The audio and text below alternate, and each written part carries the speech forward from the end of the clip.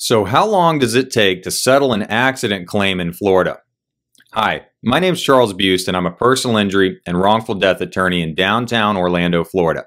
And today, we're going to be talking about the time it takes to pursue a personal injury claim. So, let's get right into it. So, I want to start out by saying that every personal injury case is different. Unfortunately, there's no secret formula or algorithm.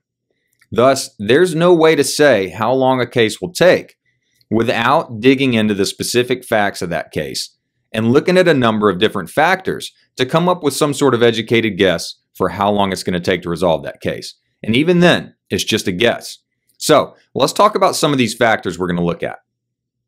First of all, let's talk about the complexity of the case. The more complex a case is, the longer it could take to resolve that claim. So, for example, if there are multiple defendants, the case may take longer. In the same way, if the evidence is conflicting or if there's extensive medical evidence to review, the case may take longer to settle. The next factor we're going to look at is the extent or severity of damages. A case involving more serious injuries will likely be a higher value case, and insurance companies do not like to pay out large sums of money. Okay? So these types of cases may take more time. Additionally, cases with serious damages may require a lot more medical treatment, which could also delay the case. Another important factor to talk about is the reasonableness of the parties and their willingness to negotiate. Obviously, if the parties are reasonable and willing to negotiate and work together to reach a settlement, the case could move along quickly. However, if either or both parties are unwilling to compromise, the process could take much longer.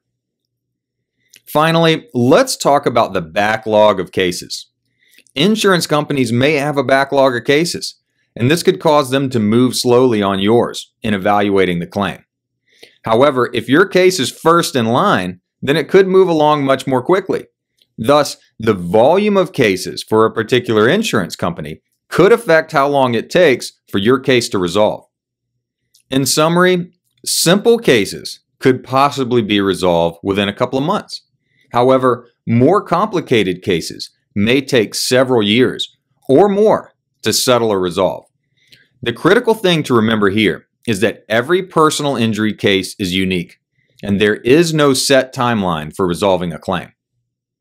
Well, that's all I have for you today. If you have any questions about your personal injury claim, please don't hesitate to give us a call. We're happy to give you a free legal consultation and we'll help you however we can.